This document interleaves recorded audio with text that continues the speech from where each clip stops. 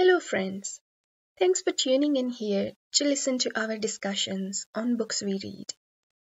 Today, we're featuring yet another very acclaimed writer whose books are widely loved by both young and old readers.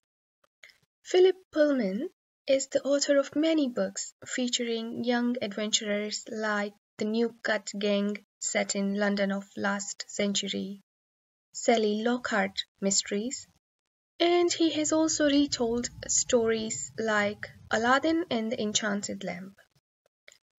But it is the series called His Dark Materials, also sometimes referred to as The Golden Compass, due to the name of the first book and movie adaptation by the same name, that is one of our favorites.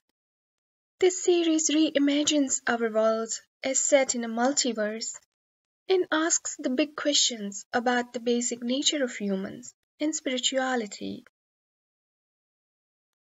The series has three books The Golden Compass, The Amber Spyglass, and The Subtle Knife. But there are also a couple of peripheral books which support the series.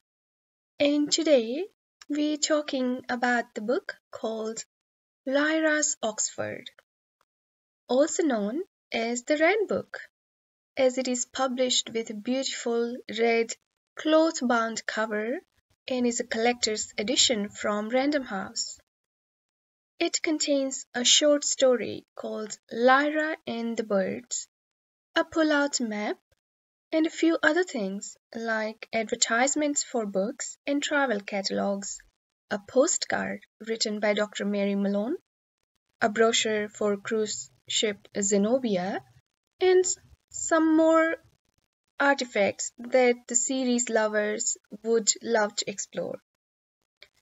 Now, as the author says, this book contains a story and several other things.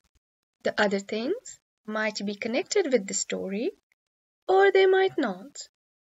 They might be connected to stories that haven't appeared yet. It's hard to tell. Before I go into the details of this story, let me give you a gist of the series so far if you haven't had the chance to read his Dark Materials. Lyra Belacqua was a bright 12 year old child living at Jordan College, Oxford, from where her destiny took her to travel to North Pole of her world, making friends on the way with polar bears, witches, Egyptians, until she stepped through to other worlds. She met Will, and they went through the land of the dead together, until at the end of his dark materials they returned to their own worlds with a promise to meet each other in spirit at least once a year. In Lyra's world she always has her demon, Pantalaimon, and we meet them again sitting on the roof of the Jordan College.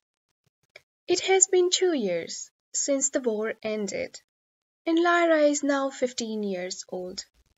She is studying at St. Sophia's School.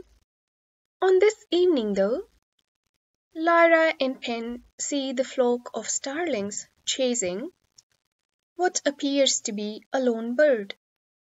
However, it turns out to be a witch's demon called Ragi, who has come looking for Lyra from a faraway land.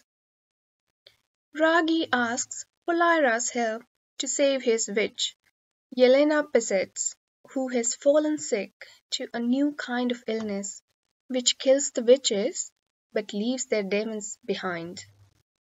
Ragi claims there is an alchemist called Sebastian Makepeace who lives in Jericho, Oxford. Sebastian can provide a cure for this illness and Lyra must take Ragi to his house. Lyra agrees to help and finds Sebastian Makepeace's address from the dictionary. She and Pantalaimon escape from the school at night and start the journey towards Juxon Street in Jericho with Ragi. On the way, Ragi is attacked by pigeons. In spite of their willingness to help Ragi, both Lyra and Pen are feeling anxious by this time.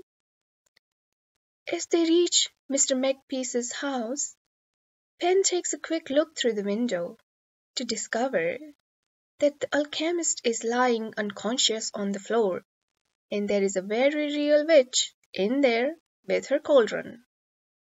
It's a trap. What happens next and why?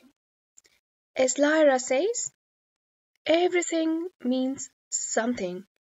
So, how does it all fit in the big picture? I leave it to you to explore in the book itself. So, on to my thoughts about it. The book is called Lyra's Oxford, so allow me to start with Oxford itself. There is a poem by Oscar Baedeker in the coasts of Bohemia.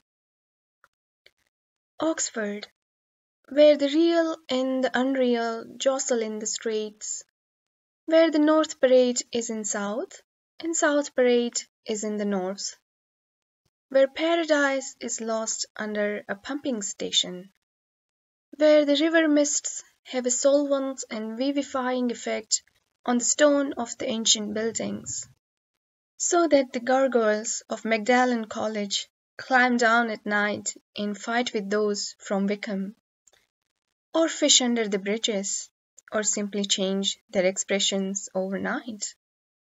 Oxford, where windows open into other worlds. How uncanny it is sometimes that a whole world can emerge from literary musings like this. It fits to Lyra's Oxford so well. We enjoyed this little story that forms a part of the world of the Golden Compass, the Amber Spyglass, and the Subtle Knife. Usually, most stories featuring children and young adults end with a happily ever after.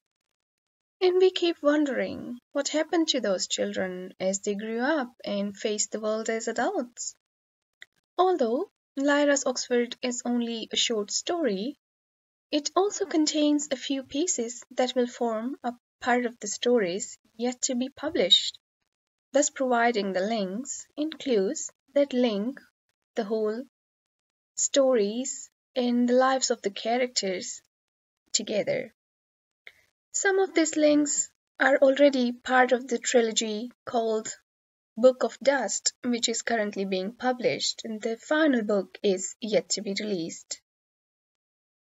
Lyra's Oxford has all the elements from his dark materials that made it so appealing to young readers, including witches that take sides in the war and win or lose, humans who try to make the best of what life gives them, children who try to make the sense of the way adults behave and how the world around them is shaped.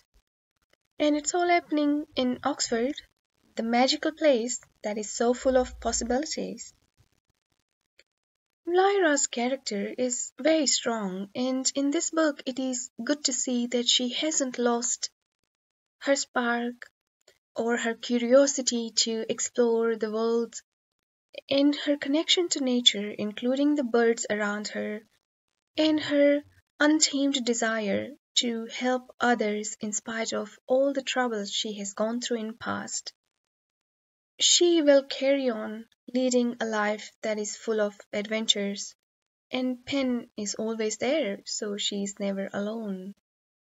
I liked the book, and I think it has gained a lot of popularity with all the lovers of the series. It is also been published as, as an audiobook by Random House Children's Book Audio. The book is read by the author himself and a full cast, making it a really enjoyable experience. So I would recommend that if you have a few hours, then there is a really good short story to explore here. And if you must do it on the go, then give the audiobook a try. Please do let us know if you have read Philip Pullman's works and whether you like them and also if you have any other suggestions for us. Thank you for listening.